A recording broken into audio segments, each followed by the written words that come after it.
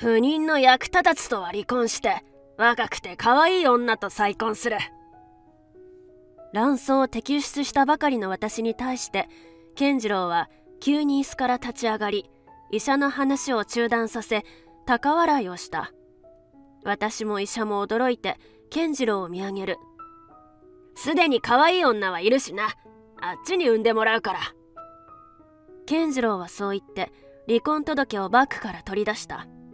何でももともと私が診断された時から用意していたらしい。私はそれを聞いて馬鹿らしくなった。分かった。物分かりよくて助かるわ。健次郎はそう言って席に座ると医者に話を再開するように促した。医者は私の方をちらりと見た後口を開く。実はなだって？医者の衝撃の一言に健次郎は顔面蒼白になった。私はそんな健次郎を見て「ざまあみろ」と心の中で叫んだ。私の名前は幸田かなえ35歳の専業主婦だ。事務員として働いていたが結婚を機に退職した。専業主婦として家事をやりつつ趣味の手芸で作ったものをネットで販売もしている。夫の健次郎とは職場で知り合った。飲み会の多かった職場で忘年会で飲みつぶれた健次郎の面倒を見たのがきっかけだ。お礼にと食事に誘われた後数回2人で出かけた。そしてある日告白され私たちは交際を始めた。健次郎は営業の仕事をしているだけあってとても口がうまかった。健次郎といると常に笑顔になれ辛いことがあっても元気をもらうことができていた。そのためプロポーズされた時私は大喜びで承諾。結婚式の準備などは大変だったがそれでも幸せだった。健次郎は義両親と義兄との4人家族だ。義父はとてもいい人で会うたびに私の好きなお菓子や健次郎と食事でもとお金を渡してくれた。義兄の慎太郎さんとは一度しか会ったことはないがとても優しい人だった。義兄嫁も礼儀正しい感じで私は仲良くしたいと感じている。対して義母は義父と義兄と正反対で私のことが嫌いだとはっきり公言していた。そのため顔を合わすたびに睨まれ嫌味を言われる。そんな義母を好きになれるはずもなく私は義母とはなるべく会わないようにしていた。しかし健次郎はそんな私の態度が気に入らないのか結婚してから何かと義母と引き合わせようとしてきた。私は嫌だと伝えたのだが健次郎は目をつり上げて「俺の母親をないがしろにするのか」と怒鳴ってくる始末。私は記念日は2人で過ごしたいなど何かと理由をつけてはどうにか義母との接触が減らないかと考えていた。そんなある日健次郎と食事に行くとレストランの前で義母が待っていた。私は顔を青くして健次郎を見た。お母さんを呼んだの？お前が喜ぶかなって思って。2人で過ごしたいって言ったよね。その日は私の誕生日で私は必死に健次郎に食い下がった。健次郎は面倒くさそうな顔でこっちを見下ろしてくる。お前さいつまで意地張ってんの？母さんだって歩み寄ってんじゃん。嫁のくせに生意気じゃね？健次郎の言葉に私は鈍器で頭を殴られた気分だった。今までそんな風に思っていたのか。そう思うだけで涙が出てくる。泣くなよ。はあめんどくせえな。ひどい。楽しみにしてたのに。じゃあ今から母さん追い返せっていうのか？健次郎は逆ギレして怒鳴り始める。こうなったら最後私が引かないと収まらない。人通りもありちらちらと見られることに耐えられなくなったのは私の方だった。もういいから。私が悪かったわ。そうだろ。分かればいいんだよ。ほら母さん待ってるから行くぞ。私の謝罪に対し健次郎は満足そうな表情をした。そして半ば強引に私の手を引き義母のところに連れて行く。それからは最悪だった。義母の隣に座らされ一つ一つの料理への文句を永遠と聞かされた。それだけでなく私が食べるたびににやりと笑って口を開くのだ。かなえさんちょっと育ちが悪いのかしら。マナーを知らないみたいね。えあのどこか悪かったでしょうか。言われるたびに尋ねるが義母はニヤニヤとするだけで全く教えてくれない。健次郎も同様にニヤニヤと笑うだけだ。健次郎私どこが悪いの？は？そんなのもわからないの？だから言われるんだよ。バカにされるたびに私の心は縮み泣きそうになる。せっかくの誕生日が台無しだ。私は全く味のしなくなった解析を必死に胃袋に詰め込んだ。せっかくお店側が出してくれたケーキも義母がろうそくを消し真ん中に座ったせいでまるで義母の誕生日かのようだった。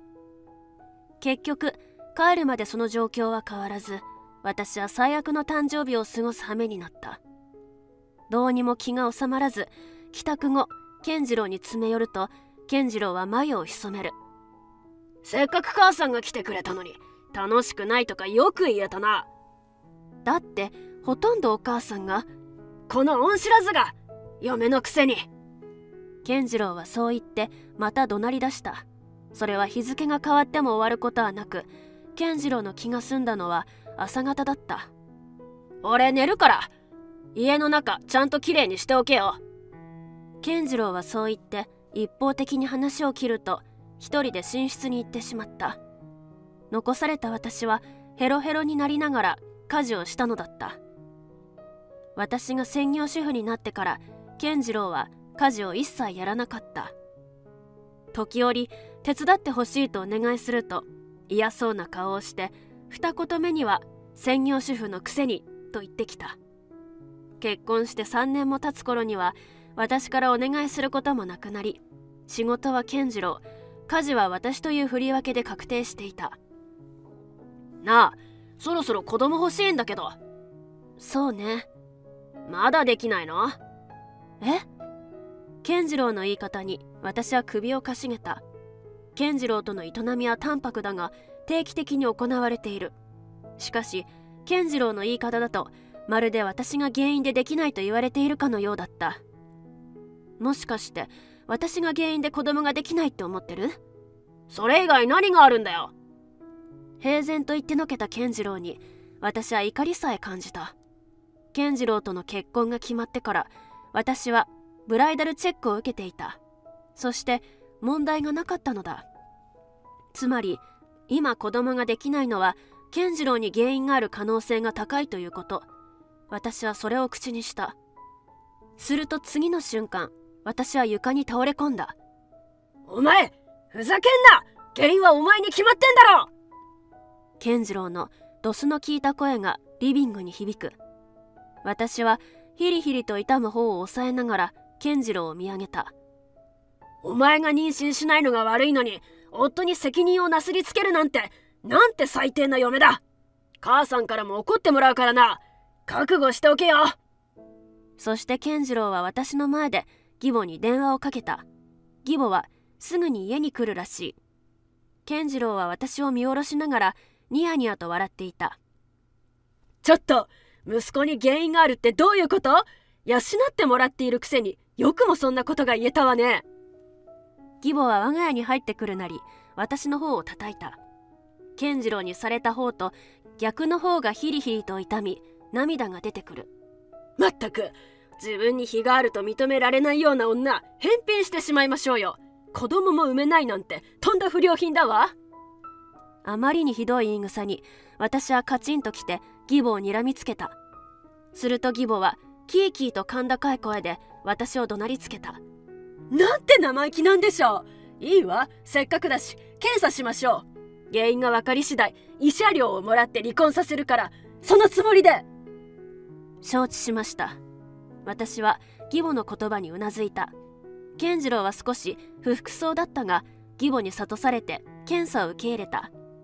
そして一番近くの大学病院に予約を入れたのだった。そして検査当日義母は我が家に突撃してきた。何でも不妊の検査に同行して結果も一緒に聞くつもりらしい。健次郎は少し嫌そうな顔をしていたが義母の同行を受け入れた。病院に着くと私と健次郎は別の場所で検査を受けるよう案内された。私はブライダルチェックで異常なしとされていたため今回も安心して受けていた。結果は異常なし以外ありえない。そう思っていた私は医者からの言葉に目を見開いた。腫瘍がありますね。これから緊急手術です。え？淡々と手術の説明を受けながら私は目の前が真っ暗になった。その横で義母が真剣に聞いていたが口角は上がっていてちっとも心配している風には見えない。先生つまり嫁はもう妊娠できないということでしょうか？いえ片方の卵巣を除去するだけなので今後妊娠は可能です。ただ自然妊娠の確率が3割ほど減りますが義母はその説明に大げさに驚いてみせた。そして私の方をちらりと見てため息をつく。孫を心待ちにしてたのにとても残念だわ。でも今は手術が先よね。そうですね。手術をすぐ始めましょう。私は事態が飲み込めないまま手術に臨むことになった。健次郎は義母から説明を聞くと自分の結果も聞かずに「ほら俺悪くないじゃん」と言って飲みに行ってしまった。嫁の手術だというのに心配の言葉は全くなく成功率が高いからといって飲みに行ってしまうなんて。私はもう健次郎に愛されていないことを確信した。そこまで悲しくなかったのは多分なんとなく察していたからかもしれない。私は一人で手術に臨むことに。手術は順調に進み無事に終わった。傷は痛いが他は特に問題がないようだった。病院で一人過ごしていると健次郎からメッセージが届いた。そこには家事が溜まっていることそして保険金の申し込みを忘れるなということだけが書かれていた。大丈夫かの一言もない。そのメッセージに私は健次郎への好意がなくなっていくのを感じた。そして術後検診に来た医者から私は驚きの事実を聞いた。医者は健次郎にも検査結果を知らせようとしたが彼は聞かずに診察を終えてしまったらしい。私はそれを聞いて今は伝えずに退院前の診察の際に健次郎を同席させるからその時に伝えてほしいとお願いした。医者は私のお願いを承諾しその間は健次郎に伝えないようにしてくれた。健次郎から私に連絡はない。義母からも何も言われない。不穏な空気を感じながらも私は静かで穏やかな入院生活を送った。健次郎には最終日だけ来てほしいとメッセージを送った。そして迎えた退院日の診察。健次郎は珍しく朝一に来て看護師に愛想を振りまきながら私の退院準備を手伝ってくれた。ありがとう。まあ最後だしな。最後という言葉が引っかかったがそれ以上健次郎は話さなかったため聞き間違いかと思って突っ込まないことにした。そして全ての準備ができた時私と健次郎は看護婦さんに連れられて医者の待つ診察室に向かった。かなえさん異常はありませんでした。退院おめでとうございます。先生ありがとうございました。私は先生にお礼を言ってから頭を下げた。横では健次郎が一緒に頭を下げているのが見える。そして私たちが頭を上げたのを見計らって先生が健次郎に話しかけようとした時だった。不妊の役立たずとは離婚して若くて可愛い女と再婚する。卵巣を摘出したばかりの私に対して健次郎は急に椅子から立ち上がり医者の話を中断させ高笑いをした。私も医者も驚いて健次郎を見上げる。すでに可愛い女はいるしな。あっちに産んでもらうから。健次郎はそう言って離婚届をバッグから取り出した。何でももともと私が診断された時から用意していたらしい。私はそれを聞いてバカらしくなった。分かった。物分かりよくて助かるわ。健次郎はそう言って席に座ると医者に話を再開するように促した。医者は私の方をちらりと見た後口を開く。実は。なだって？医者の衝撃の一言に健次郎は顔面蒼白になった。私はそんな健次郎を見て「ざまあみろ」と心の中で叫んだ健次郎は事態が把握できないのか真っ青な顔でブルブルと震えている。私はその横で冷静な顔をして座っている。どういうことですか？俺が不妊って。健次郎さんには種が全くないことが分かりました。自然妊娠どころか不妊治療でも望みはありません。嘘だ！健次郎はそう叫ぶと私の方を向いて肩を掴んできた。そして痛みに顔をしかめた私を怒鳴りつける。お前が仕組んだんだろ！離婚って言ったからその腹いせか！私はそんな健次郎に呆れた声で答えた。なんでそんな嫌がらせ私がしないといけないの？大体離婚だなんてここで言われるまで知らなかったわ。そそうか。健次郎はぐったりと椅子に座りブツブツと何か言っていた。そして少ししてぽつりと先生に質問した先生本当に0%ですか？まあ厳密に言えばほとんど不可能ということですが奇跡が起きない限り自然妊娠は不可能かと。その言葉に健次郎の顔がパーッと明るくなった。そしてすぐにニタニタと笑い出した。かなえ悪いな。俺はその奇跡を起こしたようだ。どういうこと？彼女がな妊娠したんだよ健次郎の言葉にさすがの私も驚いてしまった。医者も目を丸くしている。当然だ。夫婦で話を聞きに来たのに片方が浮気相手の妊娠を告げたのだから。というわけで悪いがすぐに離婚してくれ。さっさと籍を入れないとだからな。ルンルンとした態度の健次郎は今にも踊り出しそうだ。私は無言で離婚届にサインをして健次郎に渡した。離婚には承諾するけど後日弁護士経由で慰謝料や財産分与についてきっちり話してもらいますからね。分かった分かった。彼女可愛いからな。妬むなよ。いらない心配をしてくる健次郎に私は呆れながら返事をした。そしてそのまま病院で別れ私は自宅に帰り健次郎は義実家へ帰っていった。私は自宅に着くとすぐに荷造りを開始した。ついでに健次郎の書斎を調べる。すると隠す気がないのか証拠がわんさか出てきた。浮気相手の女性とはどうやら居酒屋で知り合ったらしい。バイトをしていた彼女に声をかけたのがきっかけだろう。パソコンを開くとメッセージアプリがそのまま開かれていて内容まで全て確認できた。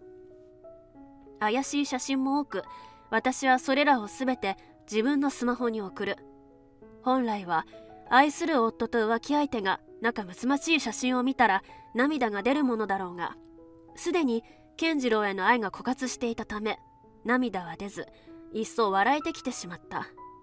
翌日私はメッセージアプリの会話と写真を印刷して近くの弁護士事務所に行った。弁護士の女性はとてもいい人で最後まで話を聞いてくれた。さらには一緒に怒ってくれ健次郎を思い切りぶちのめそうということになった。そして内容証明を作成し義実家にいる健次郎に送付した。内容証明が到着した日健次郎から大量に着信が入っていた。私は仕方なく電話に出た。おいなんだよこれ。何って内容証明ですが。そういうことじゃねえ。慰謝料ってどういうことだよ病院でしっかり言葉にしていたはずだがどうやら聞いていなかったらしい。ちゃんと先に説明していましたよ。慰謝料は浮気と暴言についてです。彼女妊娠してるって言ったろ。慰謝料なんて払えねえよ。彼女さんもういないんじゃないです？私の言葉に健次郎が息を飲む。予想通りの反応に私は思わず笑ってしまった。ダメじゃない。ちゃんと既婚者だったって話さないと。え今はあっちと席入れてんだから浮気じゃないだろ。そんな自分勝手な話通用しないでしょ。つい呆れて口から出た言葉を聞いて健次郎は逆上して怒鳴り始めた。実は健次郎は彼女に既婚者だと言っていなかったらしい。内容証明が届いてすぐに彼女から電話がありそのことを聞いた私は驚いてしまった。彼女は義父の態度や義母と健次郎の言葉に違和感を抱いていたようでまだ婚姻届を提出しておらずこの後家を出ると言っていた。もう一つ重要なことを聞いたのだがそれは最後に取っておこうと思い私はその2点だけを健次郎に伝える。健次郎はそれを聞いて絶句していた。お前がお前が余計なことしなけりゃ今頃俺は幸せだったのに。いや自分で言わなかったのが悪いんでしょ？健次郎はまた言葉に詰まっているようだった。私はそんな健次郎に半笑いで話す。とりあえず支払いよろしくね。これから大変だと思うけど。おおいお前もしかしてあいつがどこに行ったのか知ってるのか？健次郎はよほど焦っているのか私にそんなことを聞いてきた。確かに彼女から電話はもらったが行き先までは聞いていない。それを伝えると健次郎は舌打ちをした。本当使えねえな。だから浮気されて離婚されるんだよ。それで慰謝料請求されてる人に言われたくないわ。なあ。何を言っても私に効果はない。それどころか健次郎に全て跳ね返り自分が墓穴を掘っている。あまりにもみっともない態度に私は笑いが止まらなかった。とりあえず一旦弁護士も交えて話しましょう。書面にサインも欲しいしね。あああ分かったよ。ようやく承諾を引き出せた私はそのまま電話を切った。そしてベッドに寝転がる。これから忙しくなるぞ。そう思って大きく深呼吸をした。それから3日後私と弁護士は義実家の前にいた。最後にお邪魔した時よりもなんだか荒れているように見える。あら遅かったじゃない。さっさと入りなさいよ。義母は私たちを見るなり嫌そうな態度を隠さずに睨みつけてきた。時間通りですけどお邪魔しますね。本当生意気離婚してよかったわ。ギリギリと音が聞こえてきそうなほど義母は歯ぎしりをしながら私たちを家の中に入れた。リビングには健次郎のほか義兄の慎太郎さんがいる。私は義父の姿が見えないことを疑問に思った。お父さんはいらっしゃらないんですか？私の言葉に健次郎と義母は苦虫を潰したような顔をした。すると慎太郎さんが代わりに状況を教えてくれた。実は父さんは健次郎に大激怒して健次郎をかばった母さんと離婚したんだよ。え？っ私は驚いて義母の方を見た。義母はブスッとした顔で私から目をそらす。そんな義母を横目で見ながら慎太郎さんは話を続けた。それで俺の家に来てる。あんまり体調も良くないから今日は家にいてもらってるよ。かなえさんには申し訳ないことをしたって謝ってた。そんなお父さんには本当によくしてもらって。私がそう言うと慎太郎さんは笑ってうなずいてくれた。そして健次郎の方を見て厳しい表情をする。本当はもう来るのも嫌だったんだけどこいつらだけだと会話にならないでしょ。だから同席させてもらうことにしたんだ。慎太郎さんがいる理由を知って私は確かにと納得した。先ほどの義母の出迎え方からして今回の話し合いが穏便に行くとは到底思えなかった。あんたのせいでお父さん出てったんだからこっちが医療欲しいくらいよ。本当だよな。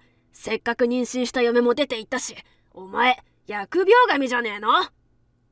勝手な言い分に私と慎太郎さんそして弁護士は顔を見合わせた。そして揃って吹き出してしまった。そもそも義父が出て行ったのは非常識なことをした息子を責めるどころか擁護した義母に愛想を尽かしたからだ。そして新しい嫁が出て行ったのは既婚者だと言わずに騙して結婚しようとしたからである。つまり2人とも義母と健次郎のせいで義実家から出て行ったのだ。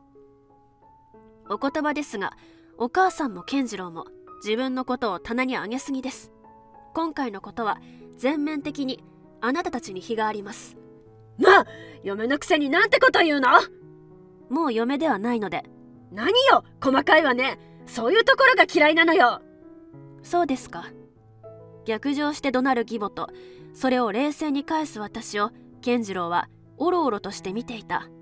こんなに情けない男だっただろうか。私は情すらもなくなるほどがっかりした。健次郎あなた自分で何とか言いなさいよ。健次郎は黙ってなさい。私がどうにかしてあげるわ。慰謝料だって払わなくていいのよ義母はそう言って健次郎をかばう。35歳にもなって母親の陰に隠れようなんて情けない。私は義母の言うことを聞いておとなしくなった健次郎を睨んだ。あれだけ生きてたくせにママの前だと何も言えないのね。そういうマザコンなところ大嫌いだった。お俺はマザコンじゃない！ようやく言葉を返してきた健次郎に私は爆弾を投下することにしたお母さんに伝えたの？自分が。種なしだってこと。その話はもういいだろ？発端はそこでしょ？黙ってろよ！健次郎が焦っている様子に義母には伝えていないと察した私は持ってきていた診断書を義母の前に並べた。義母はそれを見て顔面蒼白になった。な何これ？これは違うんだ！確かにできにくいって言われたけど彼女は妊娠したし可能性はゼロじゃないんだ。義母は健次郎の言葉を聞いてほっと胸をなで下ろしていた。そして私の方に勝ち誇った顔を向けてくる。何を勘違いしているんだか自分が馬詰めだからって健次郎まで不能にしないでちょうだい。本当に健次郎の子を妊娠していたんでしょうかね。私の言葉に義母は一瞬ポカンとした後鬼の形相で睨みつけてきた。そんな義母と健次郎に私はさらに証拠を見せる。こちら調査書です。彼女結構あちこちで遊んでたみたいでいろいろな男性遍歴が聞けましたよ。えな健次郎は調査書をひったくって真っ白な顔で目を通していた。そして最後の方を見て脱力し座り込んだ。そこには健次郎と同時並行で交際していた男性がいたこと義実家を出た後その男性と結婚したこと。そしてお腹の子はその男性の子であると DNA 検査で結果が出ていることが書かれていた。そんなじゃあ俺は俺は不能ってことなのか？残念ながらそうなるわね。私が追い打ちをかけると健次郎は勢いよく泣き出した。よほど不能という事実がつらかったのだろう。嘘よ！騙されないわ健次郎が不能だなんて何かの間違いよ。義母はそう言って調査書を破り捨てた。もともと予想していたことだったので私は全く同じ資料をもう一部出す。義母は忌々しげに私を睨んだ。すると慎太郎さんが笑い出した。笑えるじゃないか。俺を散々バカにしてた弟が不能だったなんて。お前！慎太郎さんはヒーヒー言いながら健次郎を見て笑っている。そしてスマホを取り出して健次郎に見せた。俺はもう2人の子の父親だ。父さんには会わせていたが母さんには生まれたことも言ってなかった。孫がいたの？なんで教えてくれなかったのよ？目を輝かせて乗り出した義母を慎太郎さんは冷たい目で見た。何でも何も絶縁してんだから教えるわけないじゃん。母さん嫁に何したんだか忘れたわけじゃないよね。慎太郎さんは義母が義兄嫁にしたことを全て話してくれた。もともと高校の同級生だった義兄嫁は片親であることをずっと陰で義母に責められていたらしい。そして結婚してからはさらにそこに嫌味も加わり結婚して1年も経たないうちから子供はまだか異常はないのかと事あるごとにせかしたのだとか。義兄嫁は慎太郎さんのために耐えていたがある日妊娠が分かったのを機に告白。慎太郎さんはすぐに義母を責めそのまま引っ越しし絶縁となったようだった。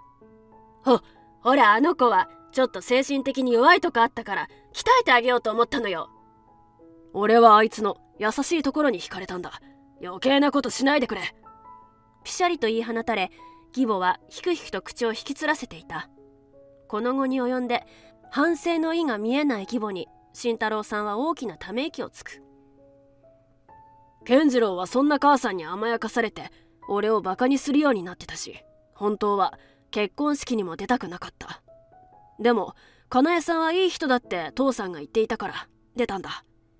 そんなやり取りがあったなんて全く知らなかった。健次郎はそれを聞いて悔しそうに歯ぎしりをした。かなえさんはいい人だったから健次郎も変わってくれるかもと期待した。でも結局はかなえさんを傷つけただけだったな。俺は大人になった。お前よりいい大学に行って収入もある。勝ち誇った態度の健次郎はとても滑稽に見えた。慎太郎さんはそんな健次郎に哀れなものを見るような視線を向ける。お前知らないだろ。俺がどこで働いてんのか。三流大学しか行ってないしどうせどっかの中小企業だろ。俺ここの社長だけど。慎太郎さんはそう言って名刺を健次郎に渡した。ついでに私にも渡してくれてそれを見て私は驚いてしまった。ここ知ってます。お兄さんが社長だったんですか？実はそうなんだよ。ニコッと余裕たっぷりで笑う慎太郎。対して健次郎は名刺を見て固まっている。それもそのはずで慎太郎の会社は健次郎が気に入って着ていたオーダーメイドのスーツを作る会社だったのだ。慎太郎そんなにお金あるなら健次郎の資料くらいポンと出せるでしょ？お兄ちゃんなんだから出してあげなさい。冗談じゃない。俺は一銭も出す気はないよ。それにかなえさんもそれじゃあ納得しない。もちろんです。きっちり本人から払ってもらいます。私の言葉に健次郎はガクッと肩を落とした。そんな健次郎に私は笑いかける。すると健次郎はすがるような目で私に話しかけてきた。俺が悪かったよ。やり直そう。な？今までお世話になりました。あなたとやり直しなんて天地がひっくり返ってもありえません。そんな！健次郎は今度こそ再起不能になりうなだれていた。私はそんな健次郎の前に慰謝料の覚書を置くそしてそこにサインをさせた。それでは慰謝料の支払いよろしくお願いいたしますね。俺もこれでもう二度と会うことはないから。もう義母と健次郎からの返事は返ってこなかった。私と慎太郎さんはそんな彼らを置いて義実家を後にしたのだった。それから1ヶ月後健次郎から慰謝料が一括で支払われた。何でも義母が土地を売って工面したらしい。土地は義実家が建っていたところで義母と健次郎は職場近くの古いアパートで身を寄せ合いながら暮らしているのだとか。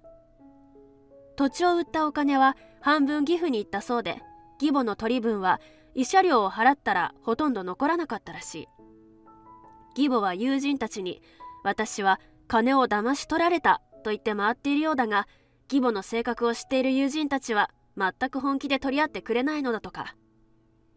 健次郎はその後不衛生な格好でいることが多くなり遅刻欠勤が増えたために職場を解雇されてしまったようだ。もともと勤務態度があまり良くなかったようでそれでも取引先からは清潔な見た目と多少強引なところが受けていたそうだが清潔さがなくなったことで強引さがデメリットになり結果が出せなくなったと聞いた。解雇された後はバイトを掛け持ちしているもののあの性格のせいで長続きしないらしい。義母も生活のために働いているようだが健次郎同様長続きせず生活はカツカツのようだ。義兄夫婦には今年3人目の子が生まれる予定だ。義父も孫の誕生を楽しみにしていて義兄嫁の手伝いを率先してしたり孫たちの面倒を見たりして生活に溶け込んでいる。義実家にいる時よりも活動的になりさらには一緒に旅行に行くなどとても良好な関係を築けている。義兄夫婦の子供たちはとても人懐っこくて私のことをかなちゃんと呼んで慕ってくれている。ちなみに私は慎太郎さんの会社で雇ってもらえた。もともと手芸が得意だったのもあり慎太郎さんの会社で新たに発足した子供向けスーツの飾りなどを任されている。自分の趣味としてやっていた時よりも責任もあって緊張するがやりがいのある楽しい仕事だ。また実はそこで知り合った男性と最近交際を始めた。とても優しい人で慎太郎さんとも仲がいい。何でも高校の同級生だったそうで義兄嫁とも仲が良く最近は彼も一緒に義兄夫婦の家で食事をとっている。彼には私が卵巣を摘出していて自然妊娠の確率が少し下がることを先に説明している。それに合わせて離婚原因も話した。彼は全てを聞いた上でそんなこと気にしない。それよりも私と2人で過ごしたい。と言ってくれている。私も同じ気持ちで最近は休日になると共通の趣味である読書や手芸をどちらかの家で楽しむのが恒例行事となっている。さらに今度ご両親に紹介したいと言われて今から緊張で胃が痛くなっているところだ。彼のご両親が好きな手芸用品を聞いて今必死に作っている。かなえさんバラ飾りお願い。任せて。ドタバタの毎日だけれどとても楽しくて何よりやる気に満ち溢れている。これからの人生好きなことと好きな人と幸せな人生を過ごしていきたいと思っている。